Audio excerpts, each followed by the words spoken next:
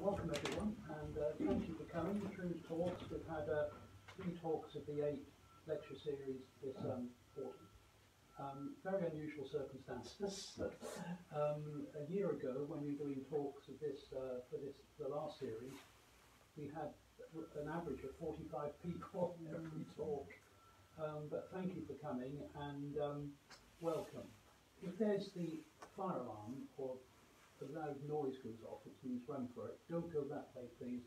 Go this way, and we've opened the door anyway down into the yard. So that's the escape room if something happens, which I doubt very much.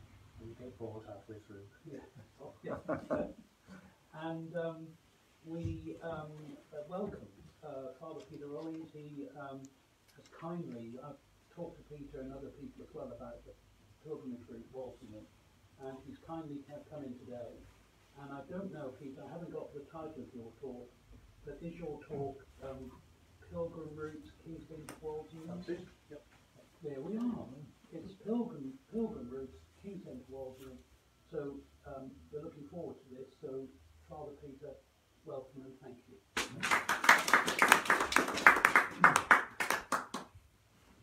Well, I, I begin with uh, two apologies, uh, really. One is that I'm not Tim MacDonald, who was supposed to be giving this talk.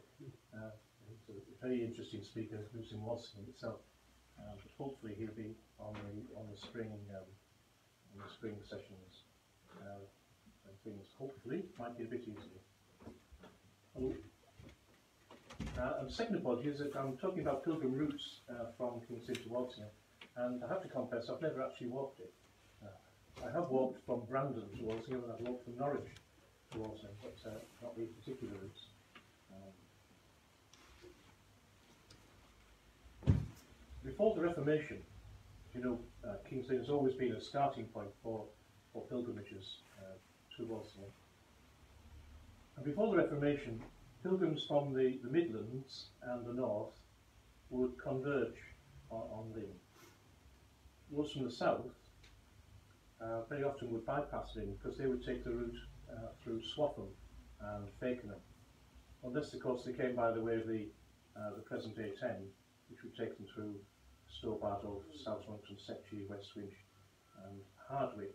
Um, and that's interesting because the name Hardwick comes because there was actually a causeway there across across the marshes. Um, for much of the journey this way, um, people had to be guided by, by uh, especially local trade guides who knew their way across some of the treacherous sands and, and the marshes and so on. Others coming from the north would, would find the journey actually easier and safer to come by sea. Um, so they would come down the, down the east coast from uh, places like um, Hartlepool, Whitby, Hull and so on. Those who were walking from the north would come, as I say, by the way of the treacherous sands between Holbeach and uh, Walpole Cross Keys. Um, and I think King John would have something to say about that particular area, because he got the difficulties there. And they'd come by way of Terrington St Clement and Clenchwarton to West Lynn. And halfway between Clenchwarton and um, West Lynn, at Jubilee Road, you find there's some remains there of wayside cross. Uh, and these were stone crosses, sometimes about 15 feet, 20 feet, whatever height, uh, which marked the routes uh, from various directions uh, towards Walsingham. You'll find a collection of them um, outside the Ffolkes Arms or, or, or, the front entrance to um, Hillington Hall. If, if, you've been along that way, you'll see those four things there. They, they, they're not in their proper place. They've been gathered from various places on Hillington Estate. Um, but that's the sort of thing uh, that was there. There's another one on the on the um, just at the entrance to the Sandringham estate. You'll see one just in the in the, in the, the verge there, near, near where Prince Philip had his accident. um, it's just it's just there. You'll spot it there. So there were way, way markers uh, for people coming. And of course, at West Lynn, they, they come across the river uh, by the ferry.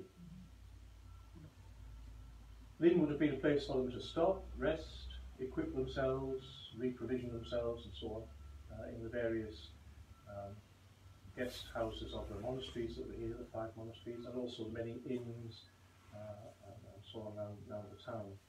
So they would have possibly spent a day or two here because, again, there was a lot to see while they were here. Uh, because when you went on pilgrimage, it wasn't just a direct route to, to the holy place you were going to. You'd make the most of all the places on your, on your way um, after a good old tour. Some people were away on pilgrimage for months and months at a time. Uh, so there's plenty to see in, in Lynn, of course. Um, Minster, St Margaret's, um, the priory churches were all substantial churches and, and, and full of things of interest in themselves. And of course, the Red Mount Chapel, um, which was a great pilgrimage uh, destination there. But when the time came for, for moving on, having rested and refueled, as it were, um, they would leave by the East Gate, which is just beside uh, where the Hob in the Well is now, um, on the road there, Port Street, uh, Eastgate Street. Um, it was built into the walls, and of course bits of the walls are still there in the Hob and Well and Kettlewell Lane. Uh, the gate itself still exists. Um, it's uh, near Bington, just round the corner as you go to Flitcham. It's there on the left-hand side. Um, it's, it's in a bad state of repair, actually. Um, it was moved because it was much lower than the south gate. Uh, so when they were wanting to get traffic through it, and particularly I think it was the occasion when the paintings at Houghton were sold and brought to the docks in huge great crates. Uh, obviously they couldn't get through the through the arch. But it's it's there at um, Hillington and that'll be a project for uh, the, uh, local archaeological society or the town council, whatever, to, to bring it back. And you couldn't put it in exactly the place where it is on, on the road, obviously, but could, there's, there's room for one side. Kettlewell Gardens there, could be put there. The coat of arms from that gate, of course, is on the, um, the magistrates' court, um, College Lane there. So they leave by the East Gate, and just outside the East Gate, on, on their left, uh, was a chapel um, of- dedicated to St Catherine of Alexandria. And she's the patron saint of pilgrims, partly from the fact that she's buried on, on Mount Sinai um, there. But it's also significant because the Knights of St Catherine guarded the road to Nazareth in the Holy Land. And of course, Walsingham is known as England's Nazareth. So there's a link there. And when they got to the other end of their journey, at the Slipper Chapel, that's also dedicated to uh, St Catherine of Alexandria. So they'd stop in there and say a prayer for a good journey and so on, and then cross over the Gaywood River and go past the Salt Pans, which is remembered in uh, Salters Road. And there they'd see a marble cross which marked the boundary between Lynn uh, and Gaywood. And then they'd continue um, past St Mary Magdalene's Hospice, which is still there, um, almshouses uh, now. Um, so we go past there and down Wootton Road uh, to Wootton and then on to Castle Rising and Hillington. And from there they'd go by way of Flitcham and Coxford, Dunton, Sculthorpe, North Barsham and Houghton St Giles. Um, and then the last mile, which is known as the Holy Mile, uh, into Walsingham itself. Now, they, wouldn't- do that in a day, obviously. Um, it's just about possible to do it in a day now with a, we get a, a march on. Um, but they would have taken probably a couple of days, two or three even days to do that. And they would have stopped in, in priories, um, in places like Flitcham and Coxford, um, and uh, Sculthorpe, I think. Uh, they would have found hospitality there from the, from the, uh, the monks that were living in those places there. So that was the, the, the classic route uh, to Walsall. So um, on the map there, the, um, I'll sort of that way. Over to Walsall itself, which is there. Now, at, um, uh, in the penal days, of course, pilgrimage ceased virtually. Uh, the shrine itself was destroyed. The Slipper Chapel, which had been the last stopping place on, on the route, uh, was turned to secular use. The building mercifully survived, virtually intact, um, but it, it was put to other uses. It was a, a poor house for a while. It was a, a forge, it was a barn, it was a cowshed. And there is a photograph from about the 1890s that actually shows some cows outside it. Um, until it was bought by, um, it had a couple of cottages attached to it. Um, but it was bought in 1894 by uh, a lady called Charlotte Boyd, who was interested in restoring monastic buildings. And she restored it. Um, but it remained unused uh, for the next 50 years or so. Real pilgrimage again uh, started after the war. Um, during the war, th this area, of course, was a restricted zone, a military zone. So anyone coming from outside uh, the area, even after the shrine, uh, the Anglican shrine had been restored in 1921, and the Catholic shrine in 1934, um, but then the war intervened and, and uh, pilgrims from outside the area were not allowed in. Although the military, um, based particularly at Sculthorpe, um, did make did make pilgrimages themselves. But it's really after the war that things that things start up again. And the first significant um, one was in 1947, and this was uh, groups of students who walked from various university towns, and each group uh, was called a leg, that's their name for it. So the various legs um, coming from various uh, university towns. And two of the legs, uh, the northern leg, uh, based on Sheffield, I think, and the, the Midlands leg, uh, come through Lynn, usually arriving, always arriving, because they're, they're um, military planned, um, always arriving on the Wednesday afternoon, the Wednesday uh, of Holy Week. Um, then they're aiming to be at the Slipper Chapel for the afternoon of Good Friday. So in modern times, they, they stay over, overnight in Holy Family Church in Gaywood, where uh, they have their feet washed and bandaged, and they're given a hot meal, and they get a shower and things like that, and a breakfast to set them off in the morning, and off they go. But when they leave here, because they've had the tradition of not all walking together, they keep each leg is separate and has a different route to Walsingham, so that they, they, they can be discrete groups, as it were, and then converging on the Slipper Chapel on the afternoon of Good Friday. So the two that leave Lynn uh, go by, diff by different ways. Um, one group goes by way of South Wootton, Castle Rising, Snettisham, Sedgeford, Docking, North Creake, uh, that way. Uh, the other group uh, goes by way of Gaywood, uh, Lynn, Ashwicken, Gayton, Great Massingham, Harpley, East Rudham, Sculthorpe, and North Barsham and, and they come in like that. And um, see that continues. This this year is the is the first year that, that they haven't they haven't been able to do it. But uh, otherwise, it's a well-established tradition now in this area. Villagers know when the students will be coming through their village, and, and they, they watch out to see them come. And the sight of them carrying their cross against the skyline in the fields in the uh, you know March or April, uh, very evocative image, and particularly the, the group that comes over the ferry, because they usually stand their cross up on the ferry as it comes across the thing and uh, arrive, yes, at the ferry steps near the, near the Booze. But sadly, they don't go in. they normally, their lunch stop is normally the Victory at, um, at which is now the, the Partridge or something, isn't it? I think they call it. Yeah. So that was 1947, the students um, began doing that. Then the following year, there was an enormous pilgrimage, um, a cross-carrying pilgrimage. Um, and this was, again, a reaction to the war and the horrors that people had gone through. And it was a, a national act of penance and prayer and reparation um, and prayer for peace. Um, and it was largely servicemen that, um, that took it on.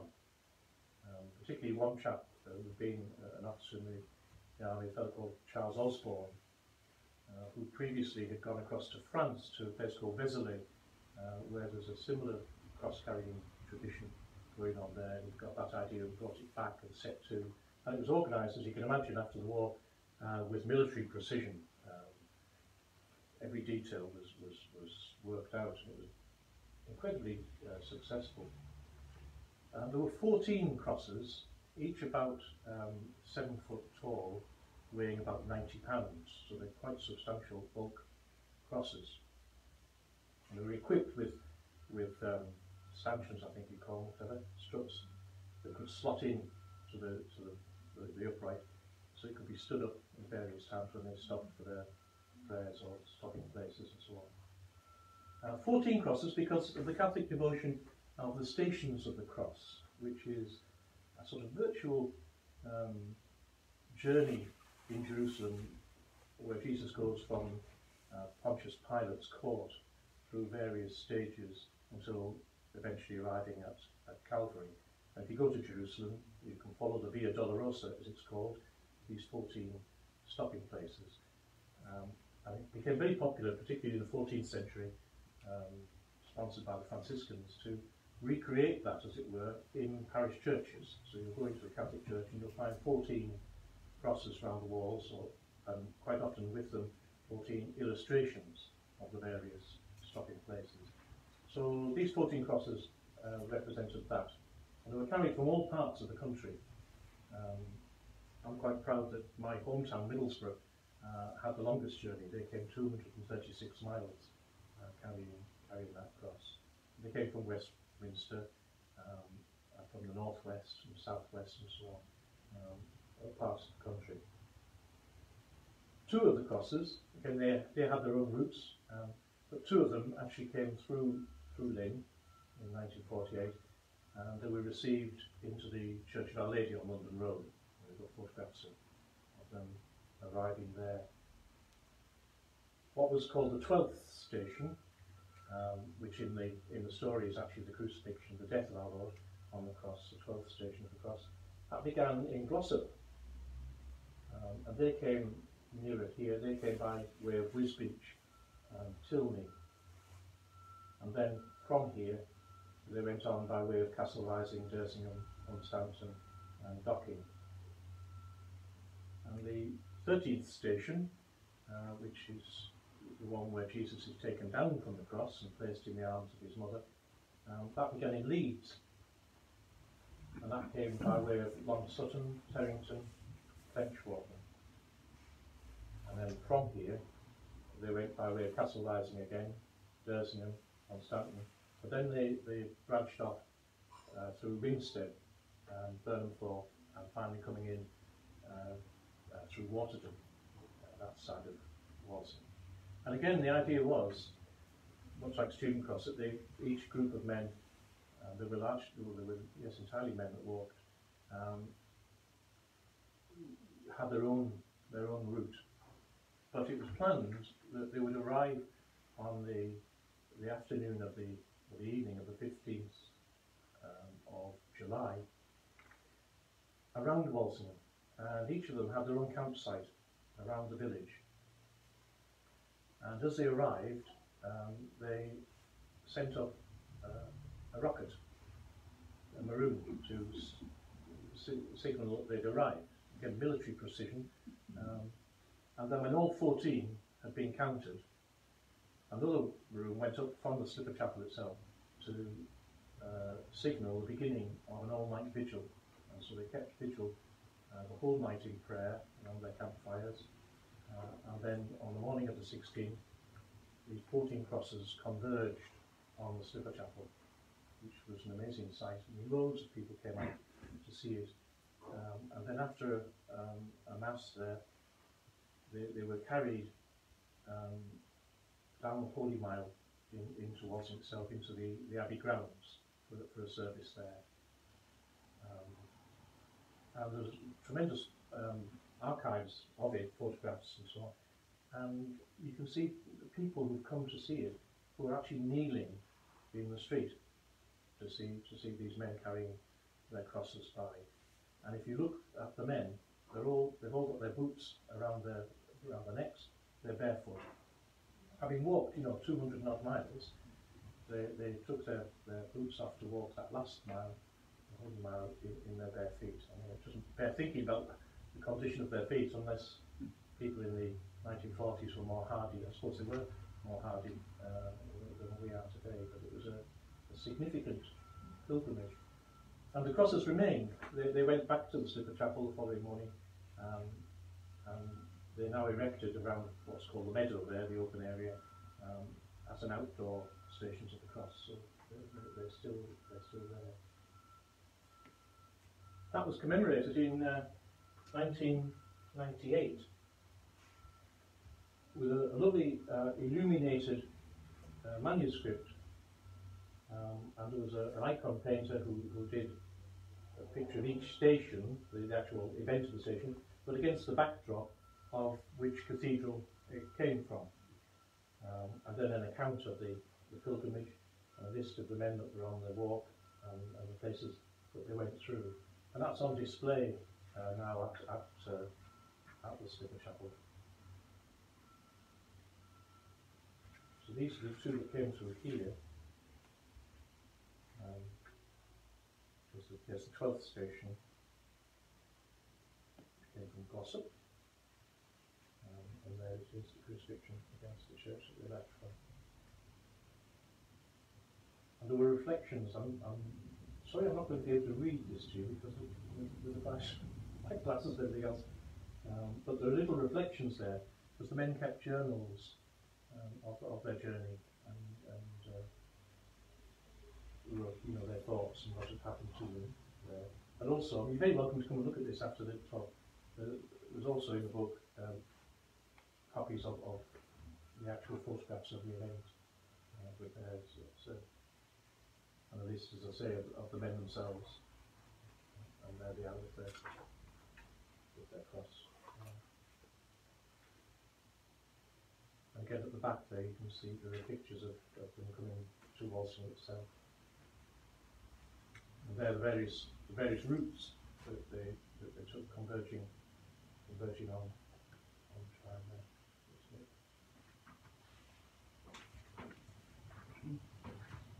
Traditions have continued in various ways. Um, as I say, when I when I walked the first time was from Norwich because I was teaching at Notre Dame there, um, and we walked through the night. Actually, we set off from Norwich about uh, six o'clock, seven o'clock at night with um, teenagers, and, and we walked right right through the night uh, uh, towards uh, Walsall. And then another time when I was in Peterborough, I took a group of youngsters there, and we, we actually started at Brandon and just did a two-day walk from, from there, which enough for me at the time. Yeah. But say people do continue. Now, our, our own parish here in Lynn, in, in, in 2004, um, they organised uh, one and they, and they produced a nice little booklet with it, with a description of the route uh, and so on, and prayers to say on, on their way. Uh, but the route that they took was slightly different from the others. And what they did was they left um, Lynn at, um, at the hospital roundabout there, and then went down by way of um, towards Mintlyn, um, and then across to the ruins of uh, St James Church at Bawsey, and then went by way of Grimston Warren, um, and for a long, uh, much of the, that sort of section of the route, it follows the old railway lines that are there. Um, the advantage of this particular route is it keeps you off, off the road, um, largely as much as you can.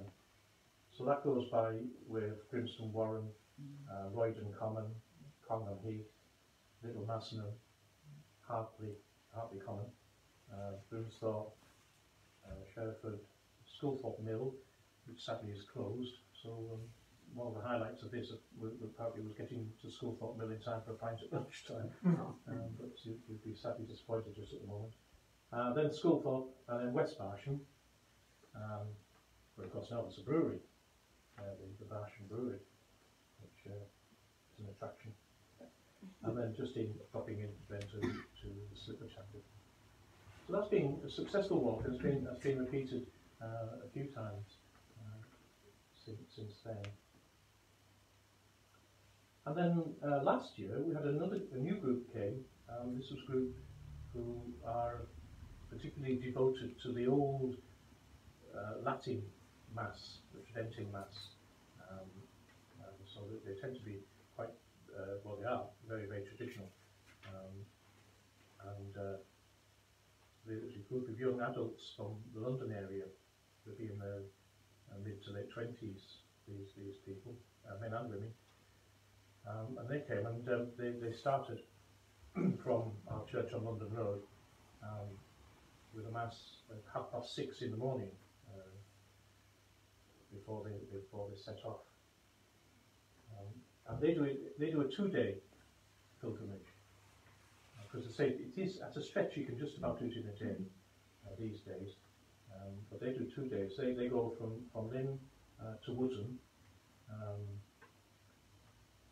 And just this year, because they came again this year, the previous year I noticed that on their way to Wootton they'd gone all the way down Railway Road and all the way around um, you know, John Kennedy and, and all that way. You know, so this year I, I piloted them. I said, no, if you go across the walks, um, for a start you can see the Red Mount Chapel, which is amazing, and then follow the cycle path through, you know, on the way to, to Sanding on the Wootton, which is a much more pleasant um, way. So they were delighted at that, that bit of local information. So yes, they go to Wootton, and then um, then they go to um, Roydon, Grimston, Massingham, Harpley, uh, Bircham. Somewhere near Bircham, um, there's there's a campsite, a permanent campsite uh, with a brick facilities building uh, there. Um, so they, they spend the night there, um, and then from there go through South Creake and North Barsham on, onto the Slipper Chapel. Um, so that, that's been a successful route too, and that one also has the advantage of keeping them uh, off off the main roads um, as much as they can. So that's the problem these days. Um, there used to be a group used to come every year from Walsingham called the Guild of Our Lady of Ransom. Um, they didn't actually come through Lynn because they went by way of Swaffham and Fakenham and so on. Um, but in the end, they they had to um, abandon the walk really because of the traffic, particularly in the area where they came past Mildenhall and Lakenheath, because that, that road there is, you know, is, is too dangerous to walk on really.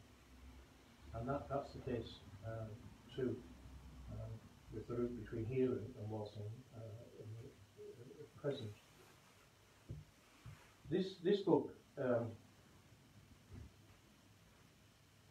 i- is, was written by um, a priest called Father Jimmy Collins from the North West. And when he retired, finally, at the age of 78, uh, he, he decided he was going to walk to Walsingham from, from um, up Holland, which is up towards Liverpool area.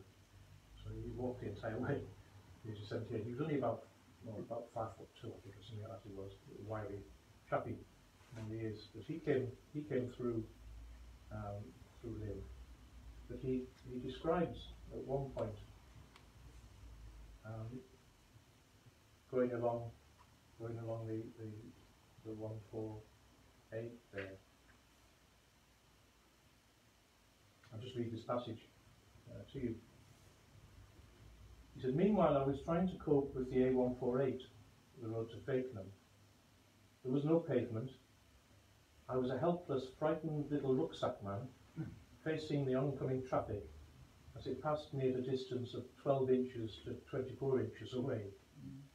Swish, swish, swish it went past, endless, without a break. I got a fleeting glimpse of grim faces huddled over steering wheels, and other faces trapped inside the pressed steel boxes dressed in pressurized paint, which hurled towards me and vanished. And I was out in the open air, where the sun was shining and the grass was growing, and the birds were singing. And for all my fear, I would not have changed places. Despite that, along every border of this kind of road which I walked in this long journey, there lay corpses of rabbits and squirrels and birds. I saw thousands of dead animals, and I'm not exaggerating. And I knew I could be another roadside statistic if I made the wrong move, or a driver did. I wanted out of this deadly road to Fakenham. And after two and a half miles, I turned left on a, onto a side road to West Newton uh, on the edge of the Sandringham estate. Now I was moving in a different world and I was singing. So I think that's, that's the sort of experience people have had uh, trying to trying to walk along that way. Um, and that's say the present present difficulty of, of getting out of Lynn um, is, is that that little bit there. And I know the Student Cross, the, the group that goes by way of Ashwicken these days, we actually have to transport them um, to Ashwicken to start walking because it's so dangerous walking along the, the, the Bawsey Road um, there for, for a group, um, especially a group moving slowly with a, with a, with a big cross. Um, so that's a little, uh, a, a little problem with that. The whole idea of walking towards him again has, has, has um, I say, uh, um, resurfaced uh, and beginning to be popular again. And there is a, a movement now to try and define uh, one or two routes um, which would be safe to walk along. And, and Paul and I have been involved in discussions uh, with Canon Peter Doll from Norwich Cathedral uh, and others to try and establish uh, a way from from Lynn uh, towards them. And the idea is that eventually it will be waymarked. We'll permission from local landowners to go across uh, their land, particular paths and so on, but it would be waymarked as well. Uh, and also there would be information given as to where people could get refreshment um, or even stay overnight. Uh, or the other idea we had was that we could integrate it with the um, local transport uh, as much as you can uh, in these areas, but you know, at intersections perhaps where, where there's a, a bus, say from here to Fakenham, um, that perhaps someone who didn't do, want to do the, the entire walk at one go could do a section of it and get the bus back to, to Lynn, and then perhaps another day get the bus back to the point where they they stopped and do a, another section. So that's that's all very much um, in the air at the moment. I think Paul is right to say. But um, that's part as well of a much bigger movement, which is to do with pilgrimage in the whole of Europe, um, and again connecting up the various pilgrim routes. Um, people are well aware of the, the famous route to Compostela, to the Shrine of St James in Spain, um, which began in various places, including England, um, and also the route to Rome, again which began in England, um, which pilgrims made uh, in, in olden times. Um, but apart, yes, an idea to, to have a sort of European network of, of routes, um, which would be a mixture, I guess, uh, of the traditional walking pilgrimage, but also these days of you know pilgrimage that could be done on bicycles or um, by, by by cars and so on. So it's part of it, and, and, and so Lynn still has its its place in, in the in the great scheme of, of, of pilgrimage, and, and it's still an important um, starting point or hub, if you like, uh, for pilgrims uh, to. Uh, even those who are not um, walking still come through the town. Our, our, own church hosts various groups who are on their way to them. Um, this week, in fact, we would have had a group from Wales, from North Gwent, um, who were hampered by the present situation. So they're, they're actually doing a, a virtual pilgrimage and, and they've, they've, kept their timetable of what they would be doing each day, their various activities. Uh, and they wanted particularly to have the, the King's Lynn experience uh, in, in, their week. So the other night um, I gave the talk that I normally give to pilgrims uh, from the Holy House uh, in, um, in Our Lady's Church because we, we we're on YouTube now. The, the wonders we've, we've all been catapulted into um, into modern technology and things that we, we knew we should have been doing years ago, but never got down to it. And now we've been uh, sort of pushed in. So we're on YouTube now. Go to YouTube, Our Lady's King's Lynn TV. Um, you can you can get up a talk, uh, a little pilgrim talk there from the on the shrine at uh, London Road. Uh, the wonders of technology, and indeed, I think this is going out somewhere. I'm not sure when, but uh, yeah, it's great. So I think that's that's all. Uh, yes, that's all I've got to offer you. Uh, but I'm very happy to, to take questions uh, and so. Thank you, Peter. Time to ask questions. Would anyone like to ask a question? Can you talk, could you tell us something, uh, tell me something about the, um, the holy house that you have uh, in your church? In King's Lynn, yes, it's um, well the original shrine at Walsingham was uh, uh, meant to represent the Holy House of Nazareth, where Gabriel came to Mary. Um, that was a little Saxon house, with no attempt to imitate Palestinian architecture or anything. It was just a representative thing. Um, so that was destroyed, of course. So in 1897, um, it was resolved to uh, re-establish the shrine. But there was nothing going on at Walsingham, there was no Catholic presence there, the Slipper Chapel was unused, as I say. Um, so the decision was made to build it in Lynn because Walsingham at that time was actually in the parish of King's Lynn. It's a huge parish in those days. Um, big in area, but not big in numbers, obviously. Um, so while we were rebuilding uh, London Road, we decided to build on the side of it this copy of the Holy House. But this one was modelled on the one that's in Loreto, which is reputed to be the actual one from Nazareth, which had been taken by Crusaders because they were great at dismantling things and put them up somewhere else. Um, so it's a faithful copy of, of that. So in 1897 that was designated to be the restored shrine of Our Lady of Walsingham. And until 1934 that was the official destination of pilgrims. Um, so now it's gone back, as it were, to being a station chapel on, on the lane. Um, it's known as the Pontifical Shrine because it was established by Pope Leo XIII, who personally um, sanctioned it and personally chose and blessed the, the image that's, that's in there. yeah. Well, the, the? Uh, uh, he he blessed the, The statue, oh, the statue. the image, yeah. You mean, sorry, I was the, Yeah, no. Um, can I ask about going back to Medi- uh, to the 14th century and so on? You know, um, at the time when pilgrimages were very popular. Well, that's my question. My main question is um, how how common, how popular was pilgrimages? Um, n- I mean, nowadays, sorry, in those days, religion uh, um, was very much a centre of people's lives, where perhaps not so much now. So, was it even then regarded as well one of those things that spiritual people do?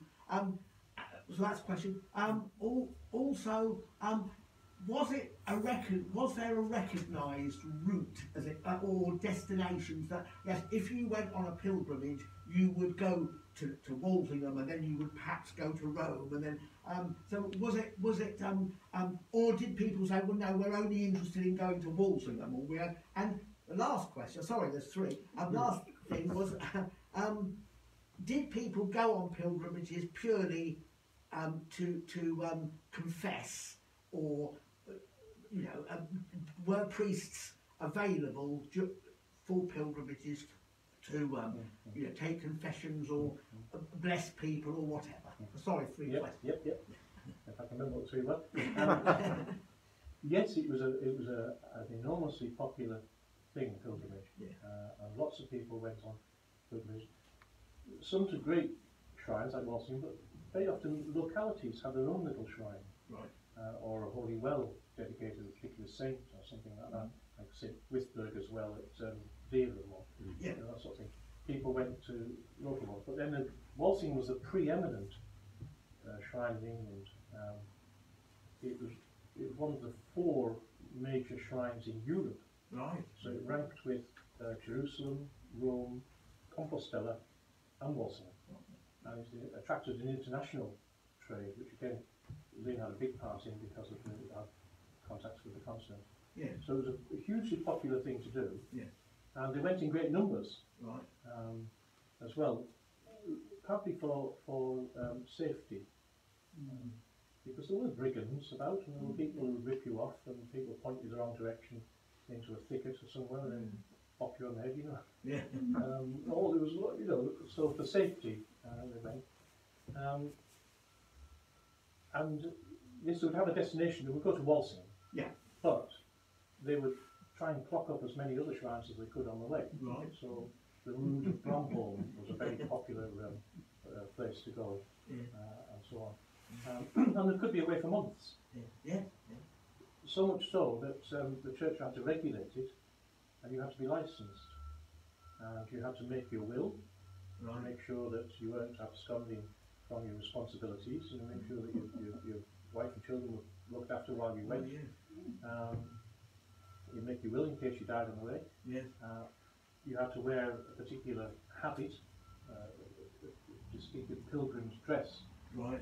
a gown, a grey gown, and you have a staff and a scrip, uh, was it, and a, and a wide brimmed hat, Yes. on which, of course, you would collect all your little tokens from your various shrines. you went to. Much hikers do these days, you know, the, the enamel badges you get in your, on your bobble hat or whatever, Yeah. um, much like that. Um, and before you left home, they read the burial service over you, just, just in case, um, you know, anything happened to you and you didn't have the benefit of clergy, as, as it were. Yeah. Um, yeah, it was also very seriously done, and there were complaints that some people weren't going for the right reasons, Yeah. because it was the early uh, package holiday. um, and people were curious as to other destinations and things, you know, to ta- you remember lots of people spent their entire life in their village, in the fields around it, Yeah.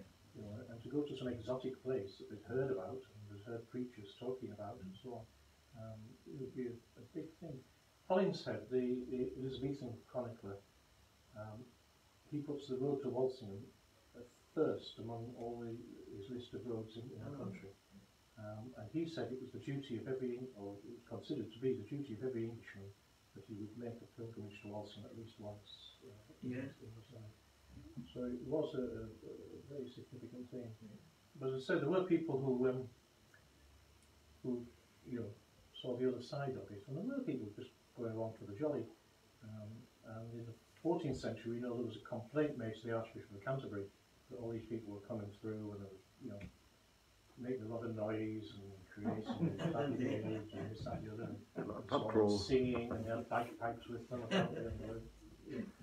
Uh, but the Archbishop said, well, you know, thank you. But he, he said, you're not really seeing far enough in this. He said, because um, they're having companionship and, it, and it's a hard journey. And so they should, they should, you know, be able to entertain themselves and so on. So he was you know, quite sort of uh, flexible about it. Yeah. But it was amazing. I mean, it was the beginning of, of the tourism industry. Really. Um, The Venetian government made a lot of money on. They ran tourist gal- uh, gallons from Venice, and people went that route across to. Yeah. They ran regular tourist galleys to the Holy Land, where the Franciscans would pick them up and take them around. And even today, the Franciscans, Peter, are still in. yes, they have what's called the custody of the Holy Land. too. Yeah. Although they, they, they, they don't really great. They, I went, I, I went, Peter's been several times. I went to the Holy Land a couple of years ago and I was interested to see the Franciscans, but they were, their, their habits are brown. You know, rather, uh, I thought they were going to be grey, but that's, but, um, but There are great fires. That wasn't said that. yeah, The three branches, and one, one was brown, one was grey, one was white. and, uh, yeah, all It's a real light grey fire, so they know they've also. three of them there. But Venice made, they made a lot of money on it. And in Lynn, the people were saying Lynn was sort of, and even today, Lynn is sort of like a, a very important hotspot for pilgrimage in terms of history and today. And it's a chap called Beasley. There's a, there's a little street in the new South Lynn. Clyde is in the the new South Lynn. New South is outside of South Lynn. There's a place called Beagle Crescent, named after the, the emperor. And he got in um, mudlarks in the 19th century, big lads who were naked, but they all swam the river west called mudlarks. And they got them diving down into the perfectly golden golden statue. And that's why the museum has one of the best collections of films about the people. And um, some um, German people came, Netherlandish people came to live in the Peter said was the continent, the trade and went um, went on English and German ships to um, to all sorts of places, but also to Walsingham. They walked to Walsingham. The badges from Walsingham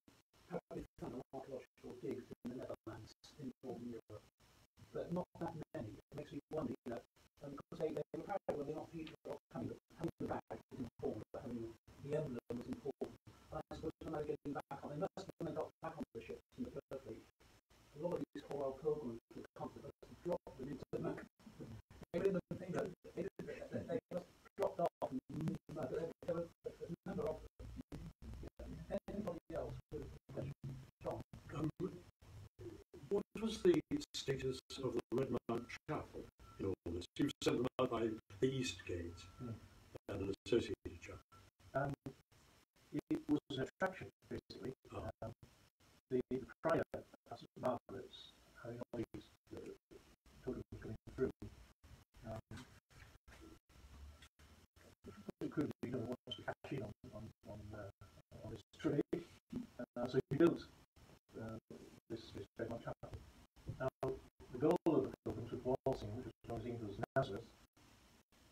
what he created there was sort of English Jerusalem. Uh, and the way that the chapel is constructed, the lower chapel represents the Holy Sepulchre,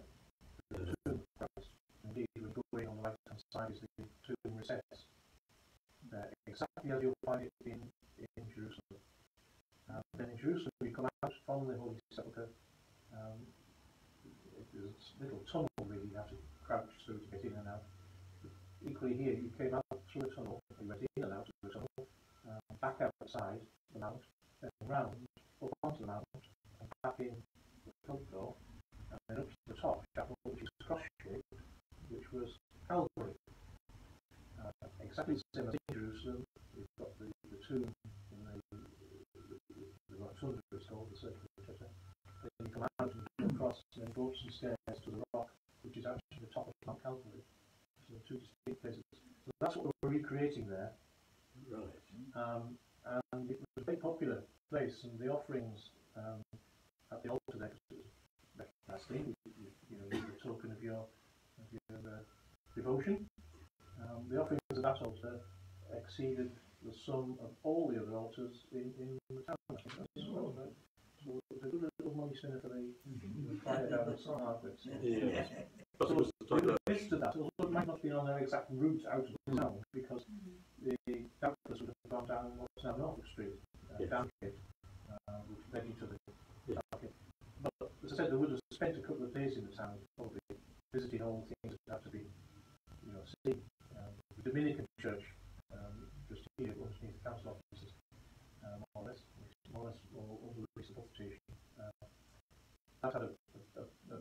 also called Araceli.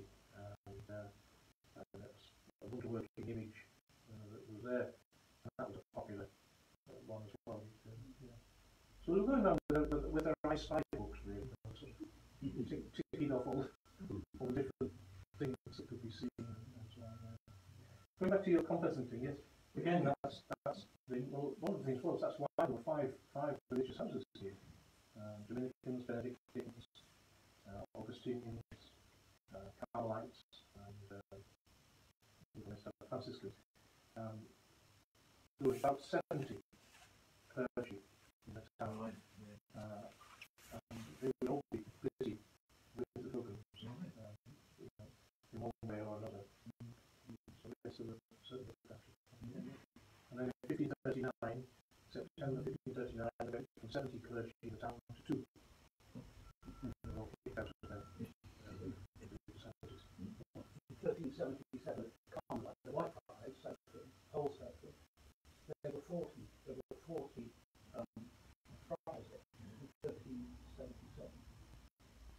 I mean,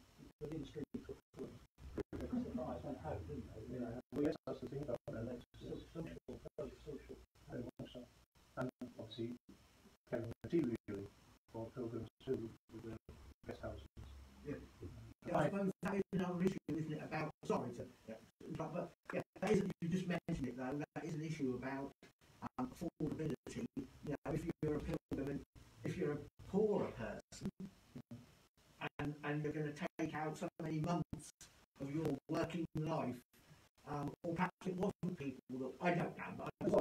There's a of people, you know, but it was considered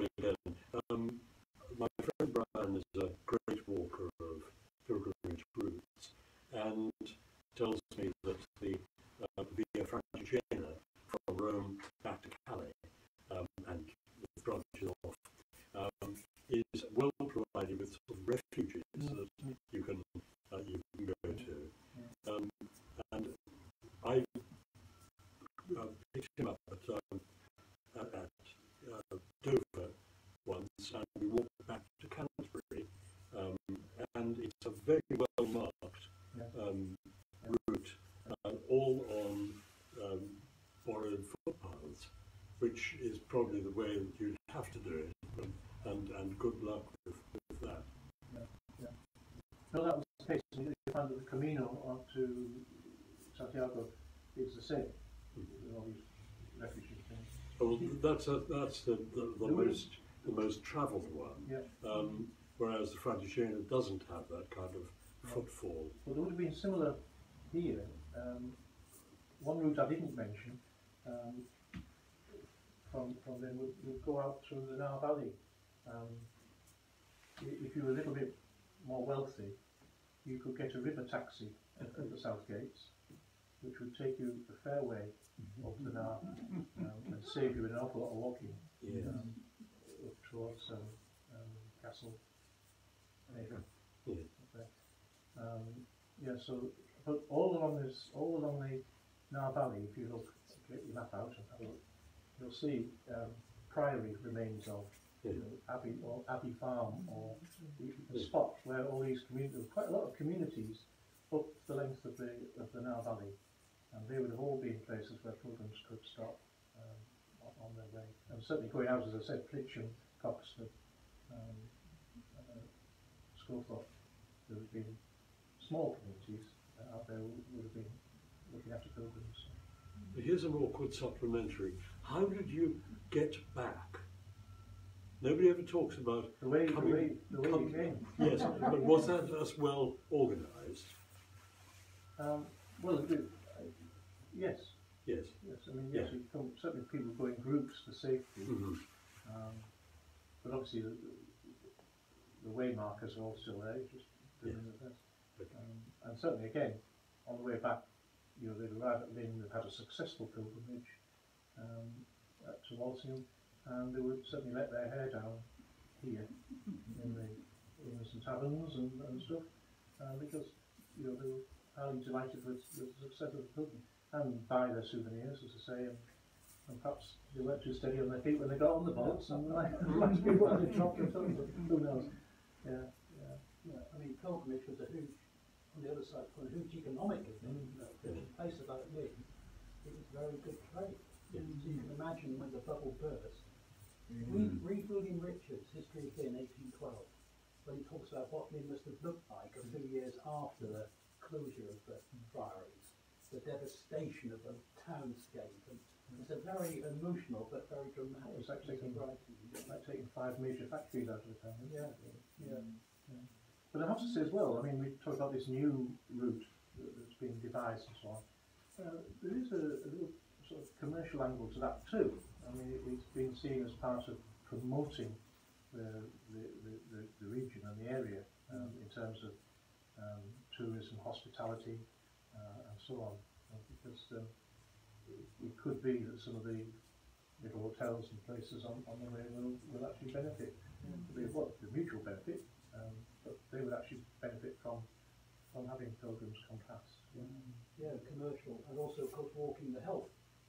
Peter and I have been to a couple of meetings with Norfolk County Council, initiated this, but everything was going quite well until King Corona struck, and everything obviously is on hold now. I'm not sure what the future is for these things, it depends on the circumstances, I guess. But yes, um, Norfolk County Council have been involved with European people. I've, I've taken people around Lynn before the epidemic from Europe who are interested in policy, English pilgrimage, because in Europe, as Peter says, they're also doing this and linking up with Europe, and Walsingham does link with Europe, of course, and especially with the Dutch and the Germans. Else, final?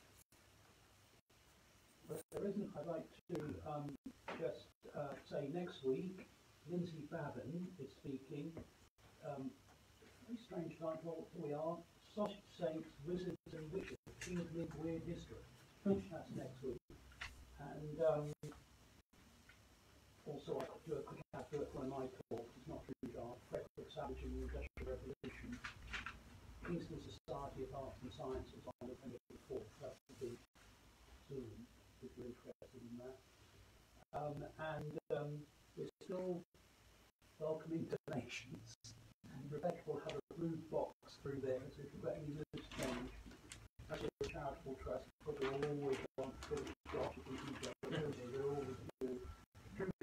don't worry, we're not, it's not good money after bad. Greenshaw's got a couple of farms. We've been able to stabilise with grants. So we're not in danger of sinking, but we want to develop and build the museum up, especially next year when it is 30 years old. And we're trying to do some special events for next year. Um, I'd like to thank you very much for coming and supporting us, and especially the Pete did mention good idea, he's sown the seeds of this idea, and two people he knows very well, I met them yesterday in the Hansa House, they asked me to join them for a pint, and I had to decline, but the savages, they said, well, why don't we organise a walk to Walsingham? Um, so there you are, perhaps we can organise um, a walk to Walsingham for those of you interested, and um, raise some money um, for one or two things. And um, um, I have, I'm sorry, I haven't walked Walsingham. The only one I've done, I did in 1998, the centenary of the pilgrimage. I did walk from the Slipper Chapel to the Abbey grounds with a group of people, including Cardinal Basil Hume. That was a very interesting conversation with him that mile from down to the, to the Abbey grounds. That was when I was the mayor, so I was at the front of this uh, procession. And um, Peter has today, as he mentioned, um, um, a friend of ours, a Peter's and Tim MacDonald, couldn't come for health reasons, and so we're very grateful to Peter in particular for standing in and um, doing a topic which I know he likes doing anyway, but for coming along um, to support us, as he has done several times in the past. So thank you very much for that, and for giving an interesting talk. And um, Peter, what I hope will come from your two talks today is that there'll be once King Corona disappears, we can do something more about Walsingham and making Lynn again a centre of pilgrimage walking and routes. And maybe we can get a, uh, a partnership from um, St Mary's on London Road and True Yard on a Walsingham walk. So wouldn't that be great? so thank you very much, Peter. I'll leave this at the door, for you. it's, it's actually the route that Father Jimmy did. Um, so you're welcome to take one of these and, and, and, and, and Thanks, Peter.